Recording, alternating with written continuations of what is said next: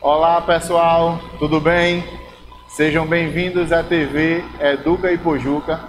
Eu sou o professor Lúcio Neto e a gente hoje vai ter uma conversa sobre inclusão social.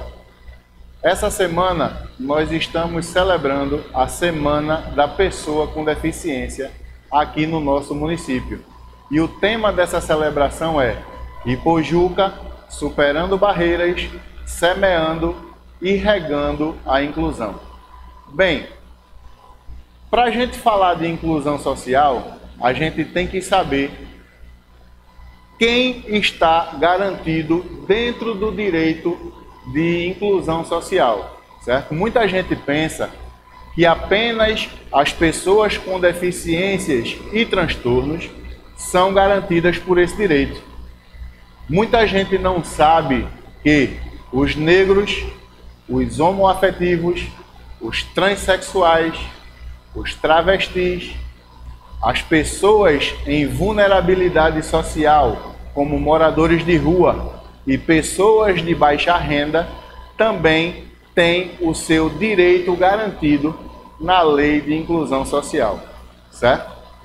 Antes disso, o que a gente ouvia falar de inclusão estava escrito no, na Declaração Universal dos Direitos Humanos e na Constituição Federal, que ambos dizem que nós temos que tratar todos como iguais. Né? A gente não pode é, distinguir a questão de diferenciação entre as pessoas, principalmente na questão do respeito, certo? Nós vamos falar um pouquinho sobre a questão da inclusão social dentro das escolas. A LDB, que é a Lei de Diretrizes e Bases de 1996, ela já prevê a adequação do espaço escolar para as pessoas inseridas na questão de inclusão social, certo? As pessoas com deficiência e os transtornos, elas têm que ser acompanhadas na sala de aula com pessoas é, especializadas na deficiência de cada um deles, no transtorno que cada um deles tem, certo? A gente tem que colocar essas pessoas dentro de salas de aula regular Para que eles tenham a mesma oportunidade que os outros alunos também venham a ter.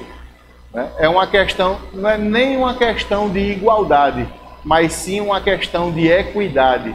É a gente dar àquelas pessoas a mesma oportunidade, certo? Só que com uma questão diferenciada de dedicação, de aprendizagem para que eles atinjam o mesmo objetivo, certo?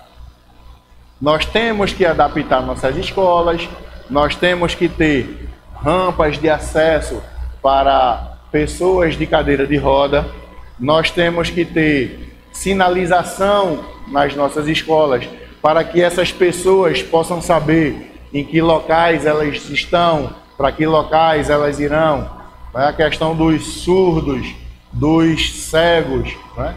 Então, a gente tem que observar tudo isso dentro das nossas escolas.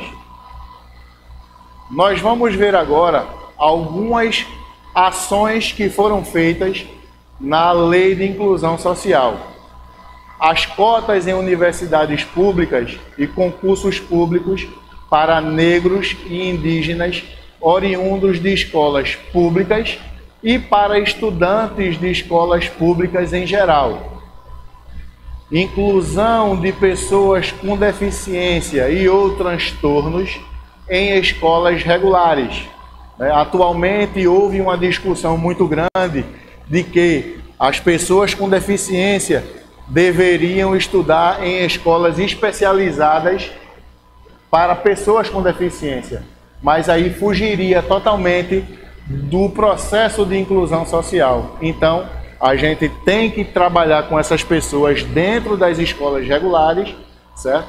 Atendendo às necessidades da deficiência que cada um tem, certo?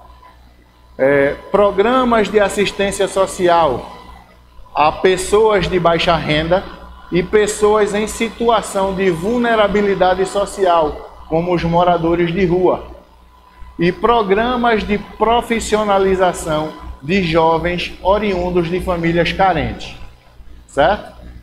Também temos aí incluído nesse processo um programa de assistência psicossocial e profissionalização de homoafetivos, transexuais e travestis e a acessibilidade para pessoas com deficiências como cegos, surdos e usuários de cadeiras de rodas em espaços públicos ou coletivos gerido pela iniciativa privada, além da acessibilidade em calçadas e passarelas do passeio público. Antes da gente encerrar a nossa discussão sobre inclusão social, eu queria que vocês entendessem o seguinte: antes de qualquer lei que exista garantindo o direito dessas pessoas, tudo que a gente conversou aqui tem que partir de dentro de nós. Nós temos que ter respeito por essas pessoas, né? dentro das escolas, dentro de qualquer ambiente onde essas pessoas estejam. Porque não é tão fácil viver como algumas pessoas dessas vivem. Né? Então, o mínimo que nós temos que ter com eles é respeito. Certo? Trouxe para vocês aqui uma frasezinha que retrata bem isso.